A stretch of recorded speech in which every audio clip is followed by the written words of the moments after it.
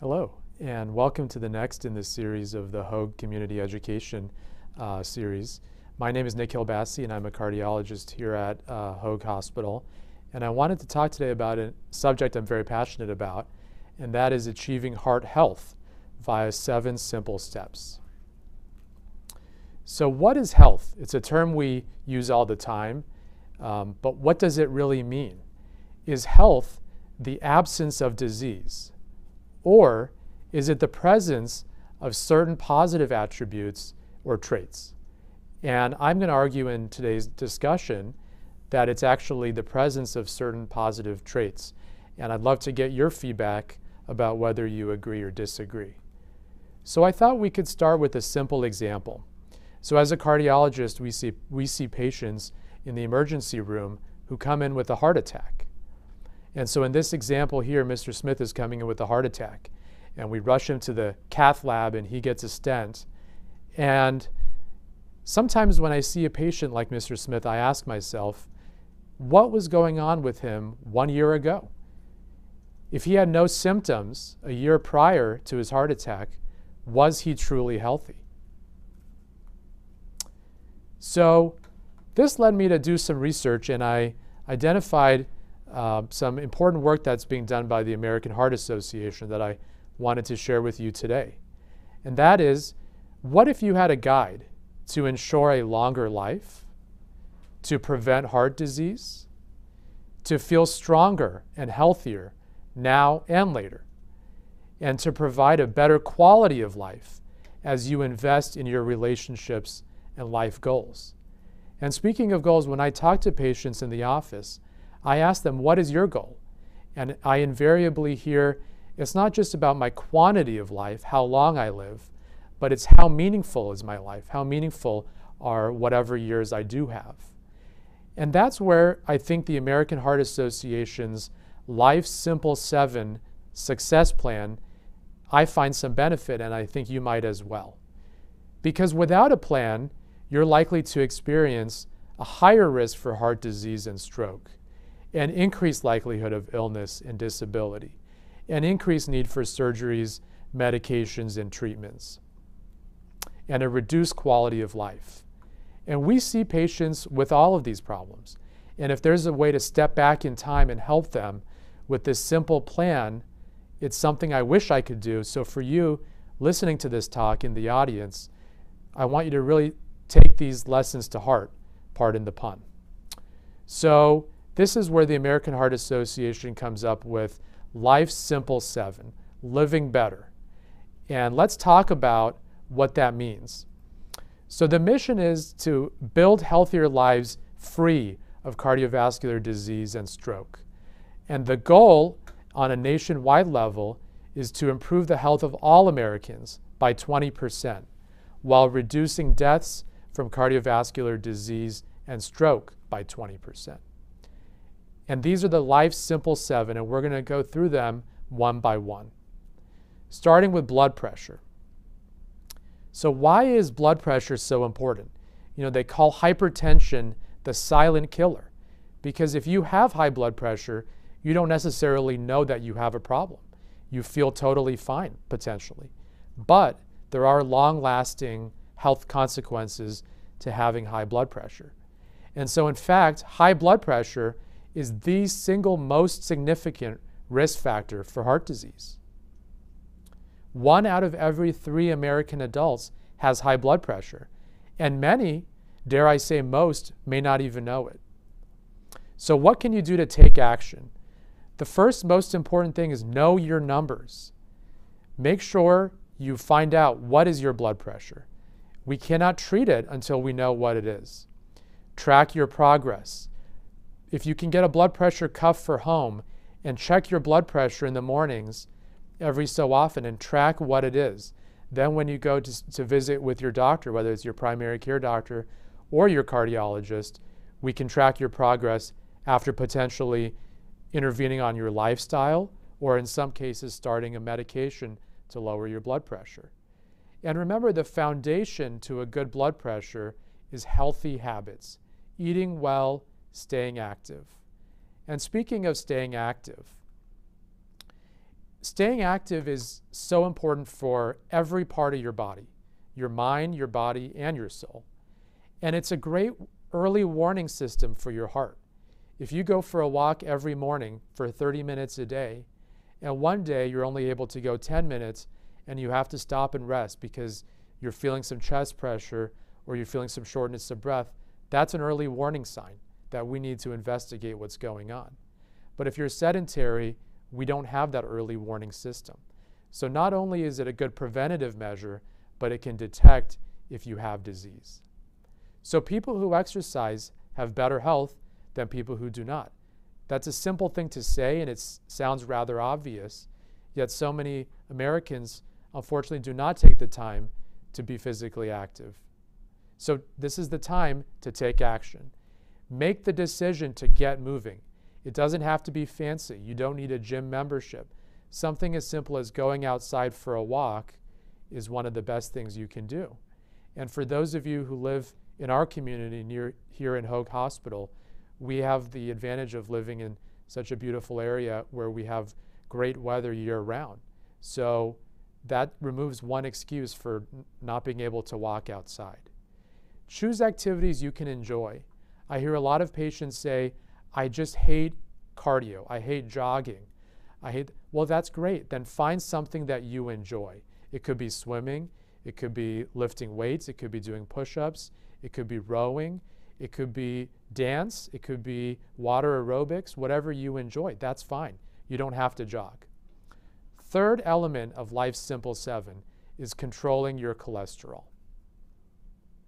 So, cholesterol is what deposits in the arteries of your heart.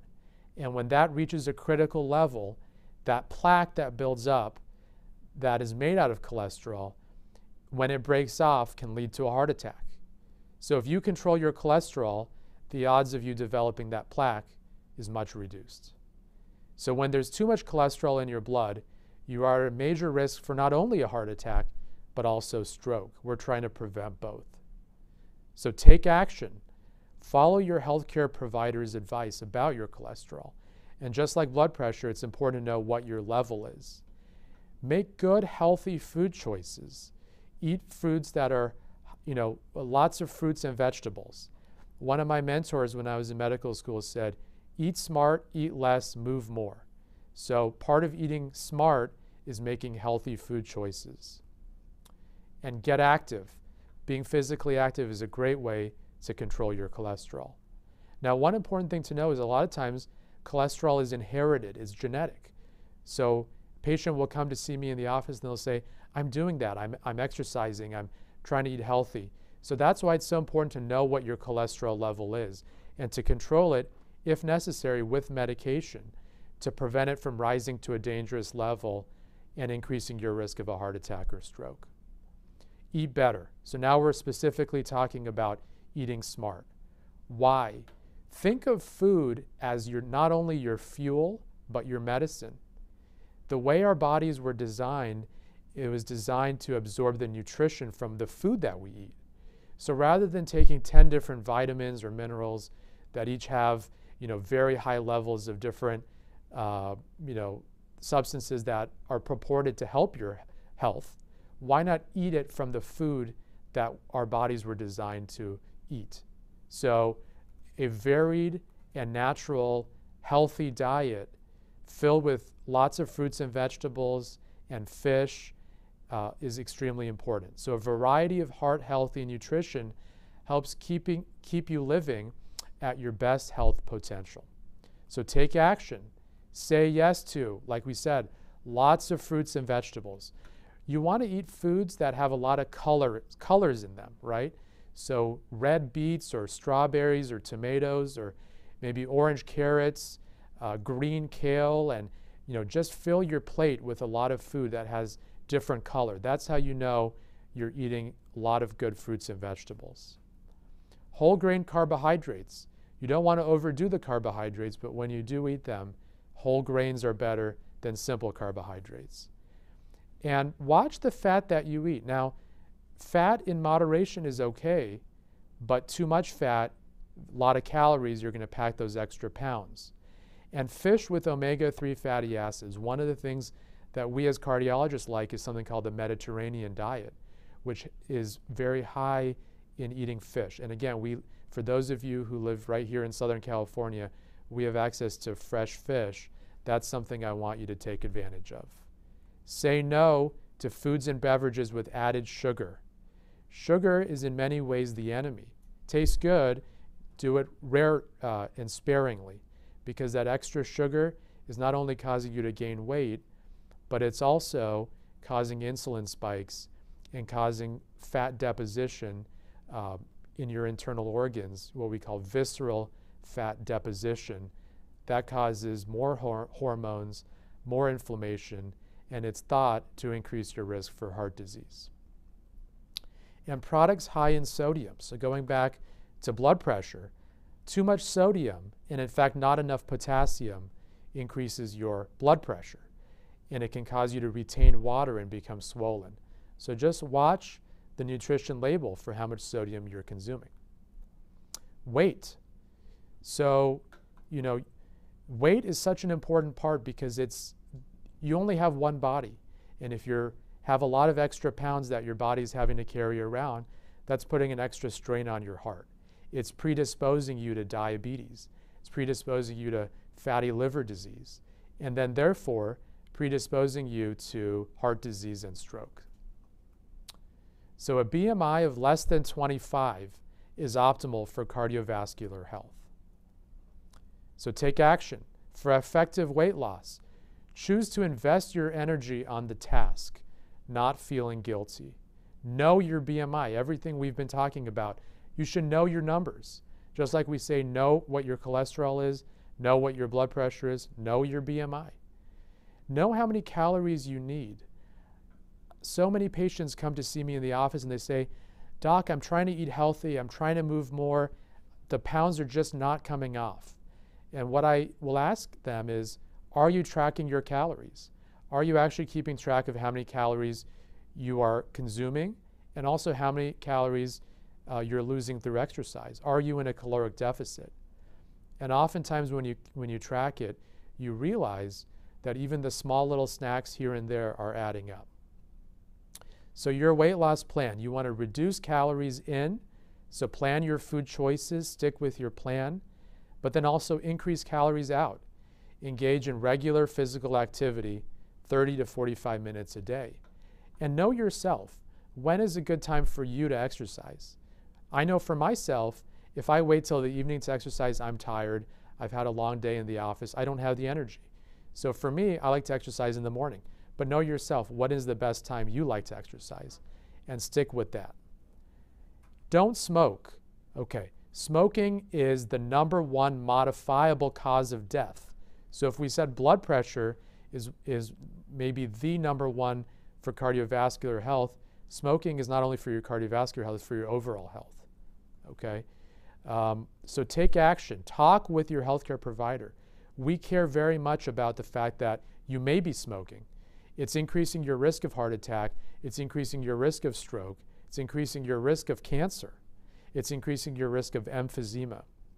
Focus on the rewards. How much better you'll feel when you stop smoking, how much money you'll save from not having to pay for the cigarettes and all those extra taxes that are associated with that. And plan your response to roadblocks. What is the reason that you continue to smoke even though you know it's bad for your health? What are your triggers? How do you tell your friends and family that you don't want to continue smoking? Next, reduce blood sugar. Why? So, high blood sugar encourages the growth of the plaque in your arteries and increases your risk for diabetes, heart disease, and stroke. Take action. Make good food choices. You want to eat foods that are low in the glycemic index. Commit to regular physical activity. When you exercise, your body's using up some of that extra blood sugar, so it's not being deposited as fat. And maintain a healthy weight. One of the highest risks for developing diabetes is being overweight. And we know diabetes is a major risk factor for heart disease. So these seven simple things, and there's an app that you should know about called My Life Check. You can actually download the app, put your information in, into your phone and it will give you a score. Seven things to measure and track.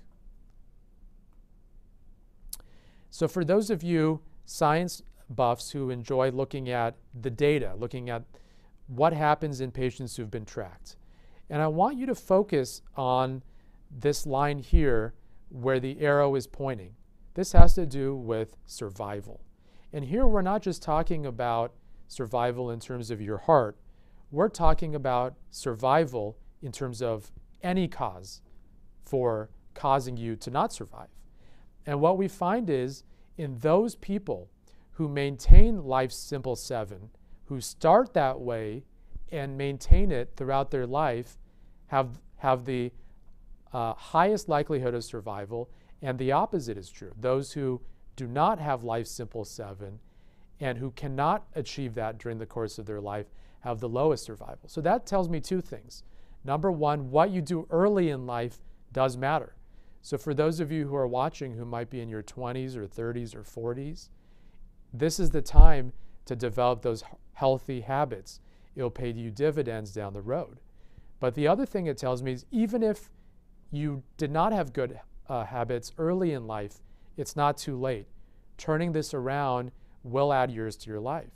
And we tell patients the first year you quit smoking, you reduce your risk of heart disease by 50%. So remember that, an, and we look here to Benjamin Franklin for some wisdom, an ounce of prevention is worth a pound of cure. Going back to our patient, Mr. Smith, our, our example patient who came in with a heart attack, what's more worthwhile for him or her, you know, for a similar patient, to work as hard as they can on life's simple seven or to come into the emergency room with a heart attack. So achieving life's simple seven does require sacrifice. It does require a lot of hard work. But I would maintain to you that all that hard work is much, much more valuable than trying to pick up the pieces once you've already, unfortunately, had a heart attack or a stroke. And so, you know, I want, as you can tell, hopefully, I'm passionate about this topic. And I consider myself and my colleagues to be preventative cardiologists. So we want to do everything we can working with you to prevent a heart attack or a stroke. If we can have you as our patient and never have that outcome, I think it's worthwhile. So, what are some additional risk factors that might modify your risk? And I have that as a chart here. It includes things so a family history, if your cholesterol is extremely high, if you have kidney disease, if you have some conditions specific to women, including preeclampsia or premature menopause, if you have chronic inflammatory conditions, including rheumatoid arthritis, psoriasis, or HIV, or even your ethnicity. South Asian patients like myself, we have an, a higher risk of heart disease just by virtue of being South Asian. So it's important to know about that risk factor so that you adjust your lifestyle accordingly. If your triglycerides are extremely high, or if there are higher inflammatory markers. And what we do when we see you in the office is we work with you to identify what is your risk level. Not only where do you fare on the Life Simple 7, but also have you already developed disease, what we call subclinical disease. So you have coronary artery disease, but you don't have any symptoms. And we can do that through a variety of mechanisms, including a coronary artery calcium score, which is a low radiation CAT scan where you can actually get a score. And the perfect score, the score we're aiming for, is zero. If it's zero, that means that there's been no damage as far as we could tell based on plaques, calcified plaques to your heart. But if your score is one or 100 or 1,000, even if you don't have any symptoms, we believe you are now developing coronary artery disease, and now we need to be much more aggressive in trying to prevent a heart attack or a stroke. And on the bottom picture, you can see different kinds of particles that we measure, including something called lipoprotein A, which, if very elevated, is a genetic marker that you may be predisposed to premature heart attacks or premature strokes. And we need to be very vigilant about your lifestyle and potentially put you on medicine to try to prevent a heart attack or a stroke. So, this is a patient centered approach for what we call primary prevention. Nothing has happened yet, but we want to make sure nothing does happen. And we have to have a comprehensive approach. Social determinants of health, the stress at home, your socioeconomic, all of these things are extremely important. Social determinants. A team of healthcare providers. This is not just your cardiologist, this is your primary care doctor. This might be your endocrinologist. It's a full team of doctors who are looking out for you and trying to prevent cardiovascular disease. Shared decision making. We want to talk to you, we want to educate you. That's one of the most important things we can do as your physician. We're not talking at you, we're having a discussion with you, and we want to make a shared decision making process after you have all the information you need. And then putting that all together, we come up with a treatment plan. But the foundation is Life Simple 7 for your health. So, in summary, to be healthy is not just the absence of disease. You're not just healthy because you haven't had a heart attack or you haven't had a stroke. To be healthy is actually a collection of positive attributes. And so that takes self reflection in all of us to think okay, how healthy are we really? And adhering to Life Simple 7, the seven steps that we talked about one by one, that is your foundation to better health. And I believe that a cardiologist who's focused on preventing heart attack, preventing stroke, can be a useful member of your medical team. So I want to thank you for your attention. And um, we, you have our information here if you want to reach out in more detail. But in the meantime, Sandra has some questions which I'd love to address. And so, a lot of questions, which is great, and that's that's what I want to hear. So the first is Is a daily aspirin still a good way to prevent heart attacks? And that's an outstanding question. And for many, many years, the thought process was yes, that a daily aspirin is a great way to prevent a heart attack. But where the field is really moving is towards a more personalized decision for you as a patient. Where do you fall on the spectrum of Life Simple 7? Do you have any coronary artery calcium? All of the elevated risk factors I talked about, including do you have inflammatory diseases? Do you have a family history? Are some of your inflammatory markers elevated? We put that all together and we tell you whether we think an aspirin is a good idea because remember, even a baby aspirin, although it's a low dose, can cause bleeding. And so we have to do a risk benefit analysis with you. What is your bleeding risk? And what is your risk of a heart attack and stroke? And that's based on you as an individual. And so rather than having one blanket statement for all patients, we're really moving towards a more personalized approach. All right. Second question Does eating red meat increase the risk of heart attack and stroke? What about bread and bakery? So, the answer to red meat is it can be high in cholesterol and it can be highly inflammatory, especially how you cook it. Are you barbecuing it? Are you grilling it outside? This increases the risk for highly inflammatory um, situation. So it's not just the red meat, but it's also how you cook it, what you eat it with. All of these play a role. And so I want you to eat red meat sparingly. Remember, we talked in the Mediterranean diet about how important fish is and how important fish is for your heart. So I want you to really try to substitute that red meat and try to eat fish, especially if you have access to fresh fish is extremely important. What about bread and bakery?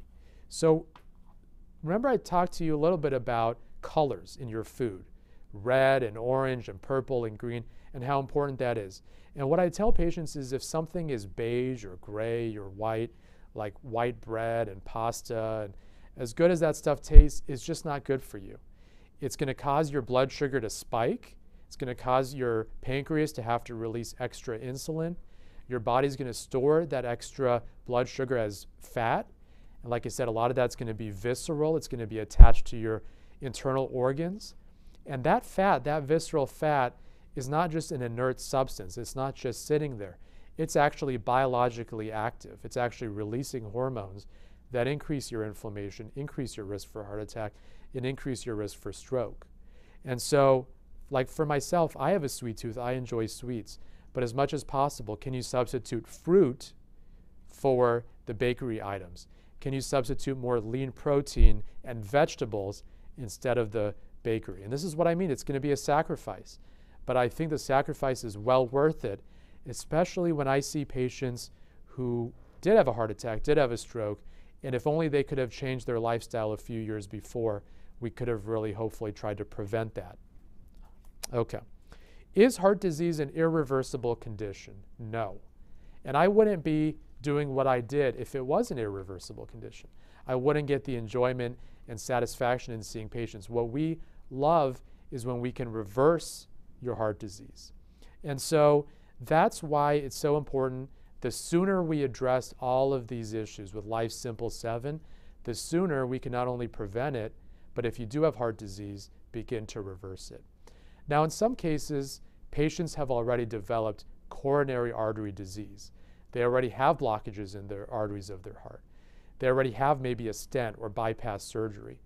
Well, obviously, in that case, we can't prevent what's already been done. But what we can do, which is extremely important, is to prevent another heart attack or another stroke.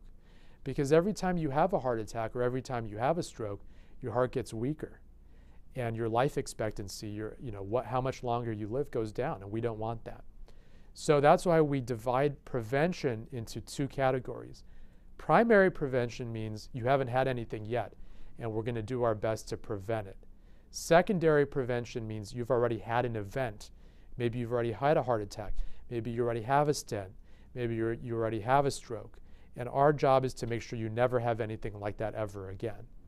And so we believe with a good lifestyle, with proper attention to your blood pressure, to your cholesterol, in many, many cases, we can reverse your heart disease.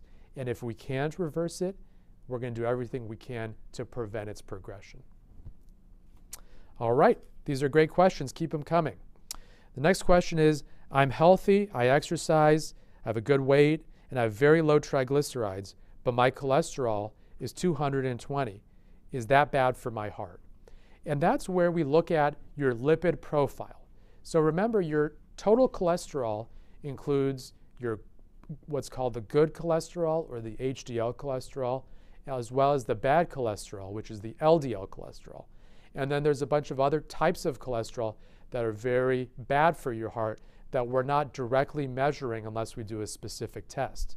So the 220 there's, there could be two different patients, each with a total cholesterol of 220, and one is doing great and one is doing terribly. And it has to do with what is your lipid profile. So if your LDL cholesterol is very high, that makes me concerned. And especially if you're like you're mentioning here in this question, you're healthy, you're exercising, you have a good weight, and your LDL cholesterol is still very elevated, that's making me think this might be genetic. And I'm going to be very interested to know about your family history. Was there anyone early in your family history who maybe had a heart attack in their 50s? Maybe they had a uh, bypass surgery in their 50s. Maybe one of your me- family members passed away suddenly in their 40s or 50s. That's really important to know. And someone who has a high cholesterol with that kind of family history, we're going to be extremely aggressive with lifestyle. And if you've maximized your lifestyle, you're following Life Simple 7, and your LDL cholesterol is still high, we would recommend a, a medication to lower the cholesterol. So it all depends on you, your risk factors, and the lipid profile. Okay, next question. What about the different types of LDL? Should you have both tested? Yes. So most patients, the answer is no. You do not need different types of LDL tested. And, and really what this question is getting at is there's a bunch of different ways that it can be tested. So particle size, LDL size, but also particle number. Thank you. So all of these things um, are things we can measure, but we don't want to measure it necessarily in all patients. In patients who I feel are high risk, maybe we're not sure if we want to start a cholesterol medicine. Maybe we're on the fence. Maybe someone is, is very healthy, but their family history is very concerning.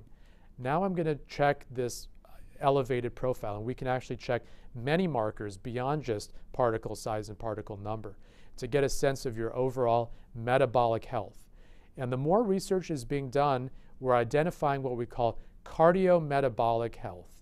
So your metabolism, what's going on in terms of what you're eating, how your body is processing the food that you eat, is having a, an effect on your heart. That's the cardiometabolic. And we can actually run an advanced profile to find out about that. So, really, like I said, it depends on your risk factors. That's what's going to inform me about whether I need to test more. But otherwise, if you're healthy and your LDL is not that high, in my opinion, there's really no need to go down in more advanced testing unless there's something else that's a red flag. Okay. Next question Does weightlifting lower the risk of heart attack? I actually think weightlifting is important. You know, a lot of times we emphasize aerobic exercise, walking, running, elliptical, stairmaster, swimming, and I think that's all very important. That's what we call aerobic. But there's also anaerobic training, whether that's high intensity interval training like sprinting, or whether that's lifting weights where you get your heart rate elevated to a much higher degree. I think that's important. And I think that's important for a number of reasons. It's going to help with your weight, it's going to help with your metabolism, it's going to help with your bone density, and it's going to make sure that you maintain your muscle mass. As we get older, the natural process of aging is we lose muscle mass. We become more frail. We have higher risk of falls. And so I think weightlifting is an important part of your overall health, and I think it's a good idea. But there's a caveat. You want to discuss that with your physician. There's certain medical conditions where I would really not recommend someone lifts weights, or if they do lift weights, uh, to just lift weights at a, a lower um, amount. So you really need to discuss with your patient what is, uh, sorry, excuse me, with your physician, what is your risk, how much weight you can lift. Maybe it's just five pounds or maybe it's more. But I do think it's important, it can be an important part of your overall heart health to not only incorporate aerobic training, but also to incorporate anaerobic training. Okay. Next question What diet do I follow? Great question. Um, you know, one of the things we say in cardiology and in medicine in general is the diet that's best for you is the one that you can follow, right? So, two people can have two different diets, completely different, and yet they're getting equally good results. So, what I like is the Mediterranean diet for myself. I like to eat a lot of healthy fruits and vegetables, limit my carbs, have um, nuts, olive oil is good, and a lot of fish. And so that's what works well for me. But that may not work well for you. You may enjoy another kind of diet. Um, you know, just like I said with exercise, I don't want you to do exercise that you hate. I want you to do exercise that you actually have fun with and enjoy. Same thing with your diet. As long as it's a healthy diet, there's more than one. So pick a diet with your physician that works best for you. But the one that works best for me is the Mediterranean diet.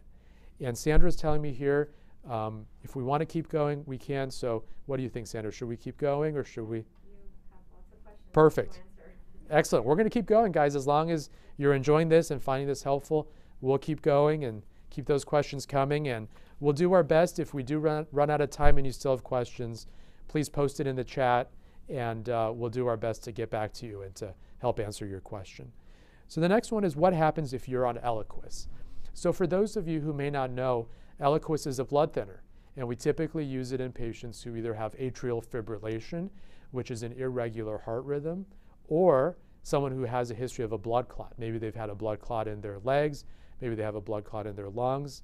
Those are usually the most common reasons for a patient to be on a blood thinner like Eliquis. And so let's talk about the, one of the most common reasons to be why we see patients who are on Eliquis. That's atrial fibrillation there's more and more data that an unhealthy lifestyle is causing and predisposing and exacerbating your atrial fibrillation. So we can treat your atrial fibrillation. We can reduce uh, your risk of stroke by putting you on Eliquis, by putting you on a, on a medicine to lower your heart rate. But are we really addressing the underlying reason why you have atrial fibrillation? Do you have sleep apnea? Do you have uncontrolled blood pressure? Are you not eating very healthy in a healthy way? Are you drinking too much alcohol? All of these are predisposing you to atrial fibrillation. So I would say if you are on Eliquis, let's let's get to the root cause for really why you're on the Eliquis, and the foundation is a healthy lifestyle. All right. Next question. How can you figure out how many calories you need? So I'll tell you what I personally do. I'm not endorsed by them. I don't have any stake in them or anything like that. But there's a free app on the phone. It's called MyFitnessPal.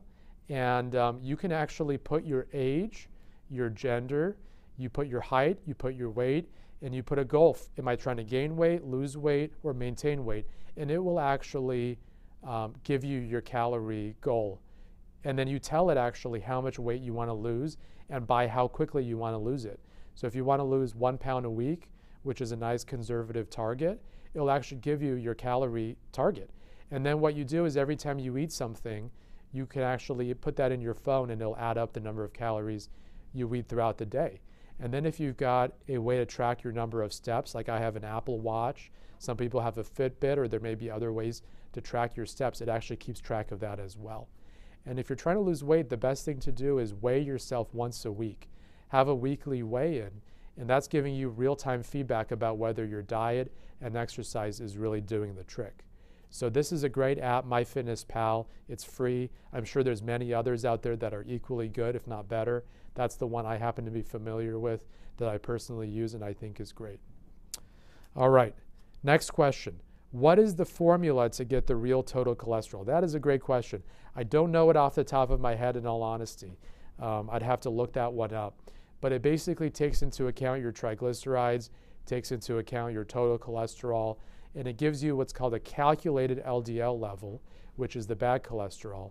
Um, and so there is a formula to calculate that, which, if any patients want to know, I usually look it up uh, when they're there in the office. All right, next question. I recently had a CAT scan of my chest. It showed minimal coronary calcification. Is it related to blood sugar or cholesterol? My answer is yes. It's probably both. It's probably the blood sugar, it's probably the cholesterol. And the more research that's being done is looking at what's called oxidative stress. So, not just your cholesterol, not just your blood sugar, but the inflammation that's going on in your body is probably causing that uh, calcification. And so the minimal calcification is good. It's not means it's not too bad. But the key word is yet.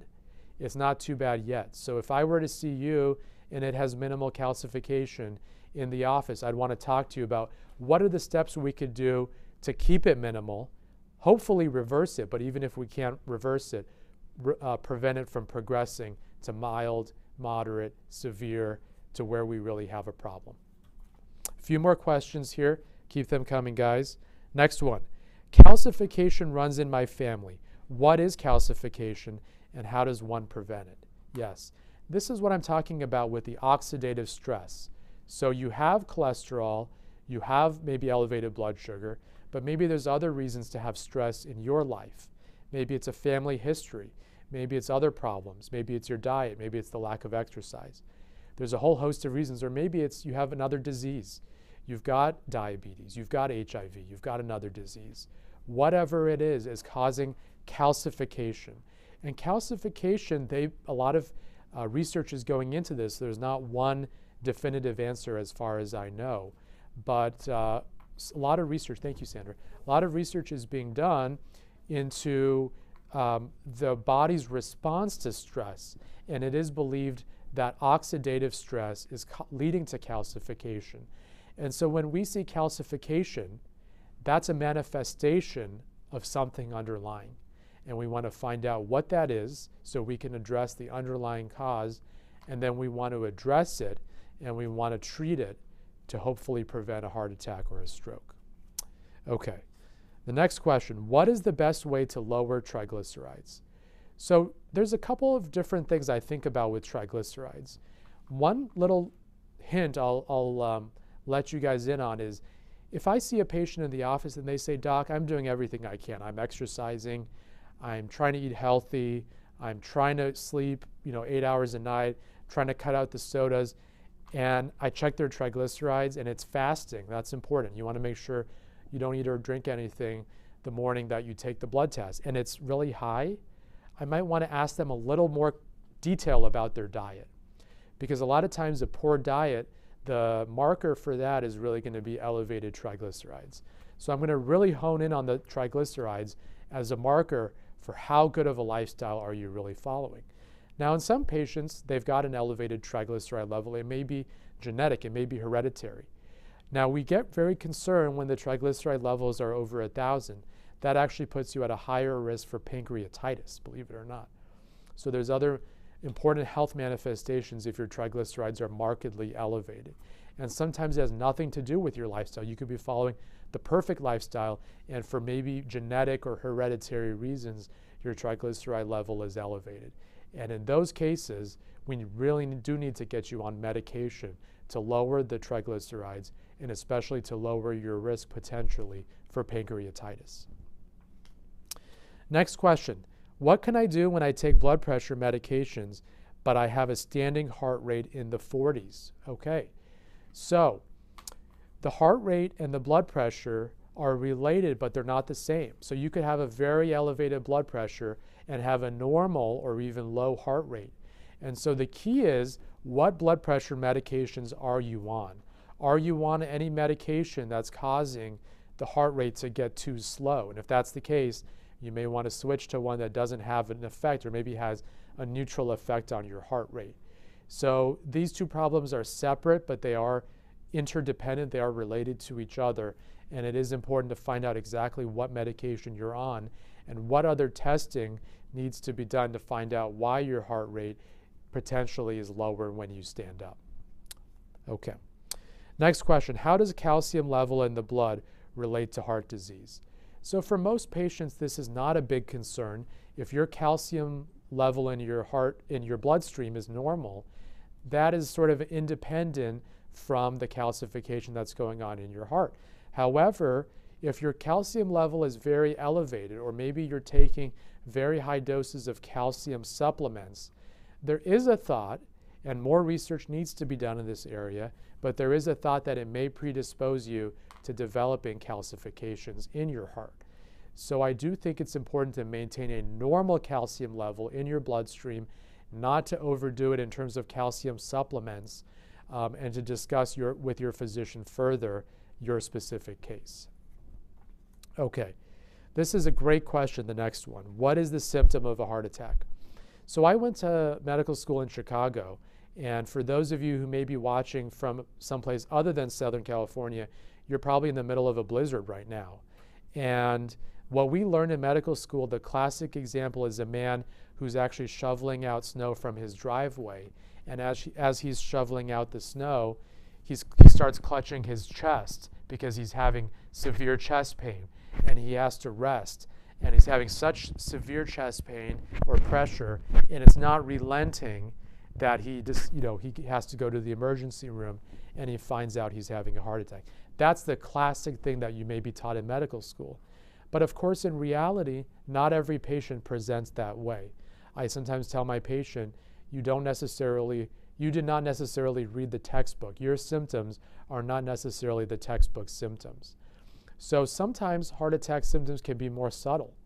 It can be severe shortness of breath, it could be sweating, it can be pain in your jaw, it can be pain in, that's running down your arm. It can actually be uh, abdominal pain or nausea, uh, vomiting. And classically, we say women present differently than, than men.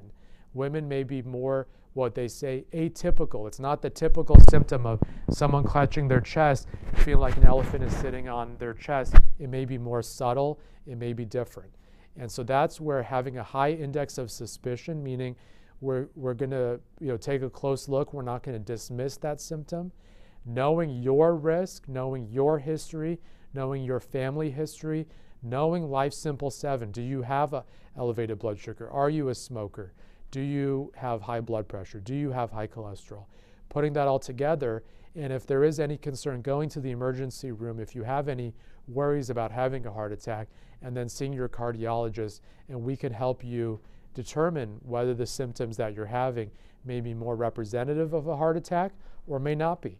What makes our job interesting but also challenging is there's so much in the chest that's not the heart. You've got your lungs, you've got your ribs, you've got your skin, you've got nerves, you've got muscle. All of these things can potentially cause pain. And you've also got, by the way, the, your esophagus, the tube that connects your mouth to your stomach. If you have an issue with any of that, you could be having chest pain and it may mimic a heart attack. That's what makes this challenging. And that's why you need to have a good team of doctors who are assessing your symptoms and maybe running some tests to ascertain what your risk is and helping to counsel you about that. So, excellent question. We have a few more here. What is the first thing I should do if I see my 74 year old dad is having symptoms of a heart attack? Okay, great question. The first thing you should do if you're worried that you or a loved one is having a heart attack is to call 911. Don't wait. Don't try to call your physician, especially if it's in the middle of the night and they're on call and they may not be familiar with your or your family member's case. Don't hop in the car and get stuck in traffic. And you know, we there are many tragic examples of patients who were in their car, on stuck on the freeway in traffic, trying to get to the hospital, and weren't able to make it in time. So if you're worried you're having a heart attack, you're worried you're having a stroke, you're not sure what's going on, our strong recommendation is you call 911 and you uh, get the help that you need. All right, couple more questions here. What is the main difference and factor of whole wheat pasta versus regular pasta? Okay, I'd prefer if you don't really eat either of those, in all honesty, and if you do, you limit it. Remember, we want you to eat things that are very colorful. Pasta, things that are gray, things that are beige, they're not good for you, they're not good for your heart. So I'd really prefer you minimize your uh, intake of pasta. But if you were to have pasta, whole wheat pasta is much better than you know, your regular pasta or your pasta that's very high in glycemic index. Whole wheat tends to take a little bit longer to digest. The blood sugar is not released into your bloodstream as quickly, and therefore um, it's probably a, a little bit better for you than the alternative. But I really want to encourage you. We have an epidemic of, in, in my opinion, of too many carbohydrates and not enough vegetables and not enough protein. And when I say protein, I mean lean protein, things like fish. That's really what I want to emphasize. Poultry. If you do eat chicken, don't eat the skin on the chicken. Make sure you're eating a lean cut of the chicken. Things like that. That's really what I want you to focus on. If you can envision your plate, make sure it's filled with fish, filled with lean protein, filled with vegetables, with lots of color in them, but really limit your carbohydrates. And if you do eat carbohydrates, I'd rather you eat whole wheat or regular pasta. All right, this is fun. I'm really enjoying this. I hope you are as well. Sandra, if there are any other questions, definitely let me know. We'll keep going as long as you guys have questions. The next one here sodium. What are the most recent daily maximum acceptable levels? Okay, thank you very much. So, in terms of sodium, just like most of your questions, you guys are probably sensing a theme here. I really want to emphasize that this is personalized. You know, it depends on who you are. How active are you? If you're a, let's say, an active bike rider and you're going out there and you're riding your bike, you know, 20, 30, 40, 50 miles a day, you know, you're perspiring, you probably need to consume a lot more salt than if you're just sedentary, if you're just at home, you're not exercising. Similarly, what medical conditions do you have? Do you have high blood pressure? Remember, a lot of people are what we call salt sensitive. What that means is consuming sodium, especially large amounts of sodium, is causing your blood pressure to spike to an unhealthy level. And one thing that's oftentimes underemphasized or perhaps overlooked is the balance between your sodium and your potassium level. So it's not just avoiding too much sodium, but it's also making sure that you're eating enough potassium in your diet. That balance is going to be the key for you. So, if you're somebody with high blood pressure, you're somebody who's got heart disease, you're somebody who I'm concerned about your blood, you know, for especially your blood pressure, I'm going to tell you I want you to stay under two to two and a half grams of salt per day. And a lot of patients tell me, well, I'm not adding salt to my food, and I understand that. But if you're eating processed foods, you're eating frozen foods, all of those are increasing your risk. Um, and because it's got a lot of sodium built in, it's, it's inherent to the food you're eating. So even if you're not using the salt shaker, you may be really going way overboard on how much sodium you're eating. On the other hand, if you're young, you're healthy, you're very physically active, you enjoy exercising, then we can be a little bit more liberal with your salt intake. But remember, the proof is in the pudding, so to speak. So if you check your blood pressure or you notice your legs are getting swollen or your ankles are getting swollen, that might be a, a reason to really cut back on your sodium and to have more of a discussion with your physician. So we really do try to tailor it to you, the patient who's sitting in front of us, and give you our best recommendation accordingly. All right. Couple more questions here. Pork meat. Lower eating to once a week is good for his heart and it may lower high blood pressure. Yes. Remember, it's not just the fact that it's pork, but pork tends to be highly processed. Might be delicious, but things like bacon, things like sausage, things like that, it's going to raise your blood pressure. And a lot of these things, they actually are saying these are carcinogens. They're actually raising your risk of cancer. So I want you to eat as little pork as you can. Try to avoid it. It's highly tends to be highly processed, tends to have a ton of sodium, and it's not only, in my opinion, raising your risk of heart disease, but it may also be raising your risk of cancer as well. So as delicious as it is, I would recommend you eat it sparingly. All right, next question. I have palpitations and tachycardia, meaning my heart rate is elevated. My normal heart rate usually low, but many times drops to 40s. I'm currently taking low doses of digoxin. Is there anything else I can do? Well, it sounds like you know a lot about your health. You're really on top of it. You know what's going on, you know what medications you're taking, and that's the first step. So, whenever I see a patient in the office, I want to empower you to get the information you need to make an informed decision. But something like this, a question like this, is highly personal. And I think the best thing for you to do is to see your cardiologist in the office so you can really, they can put all the information together and give you their best recommendation. But I think it's great that you're on top of your health, you know what you're taking. And for those of you who are watching who may not know the names of your medications or who may not know why you're taking your medications or what dose of the medication you're taking. Spend some time, do some reading on this because the more informed you are, the more empowered you are. Now we're really a team. Now we're really working together.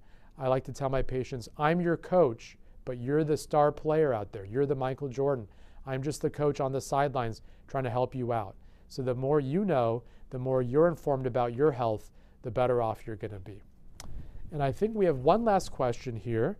Um, is it okay for seniors to continue to do long distance swimming despite taking blood pressure medications, or should you moderate? So, what I would say with this is, as with anything, it's a risk benefit discussion with your physician. So, the advice I'm going to give, don't take this to the bank.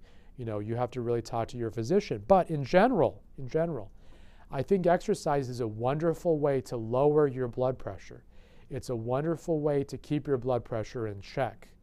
And it's a great way to just do something that improves your mood, to do something where you get fresh air, you get sunshine, and it has so many benefits uh, other than your blood pressure and other than your heart rate. So I really want to encourage you to exercise. I think swimming is a great way to exercise, especially if you have joint problems or other things where you know, full gravity or going for a jog or something like that may be tough on your joints, then doing water aerobics or doing swimming might be a great way to do that. So I love when my patients swim. I love when my patients are physically active. But of course, anything that's more specific, I would want you to discuss with your physician. And so I think that might uh, bring our talk today to a wrap. I hope you enjoyed it. I certainly did. I hope you can sense that I'm very passionate. I want to do everything that I can, working with your other doctors to make sure we can prevent heart disease, prevent a stroke, so you can live a life that is meaningful, that's got not just quantity, but also quality of life. Uh, our office's phone number is here. Please give us a call. Sandra, I'm sure you'll let me know if there are other questions that come through the chat. We'll do our best to answer them. Hopefully, you got some value from doing this, and hopefully, I can come back and give you guys some more talks and discussions for follow up in the future.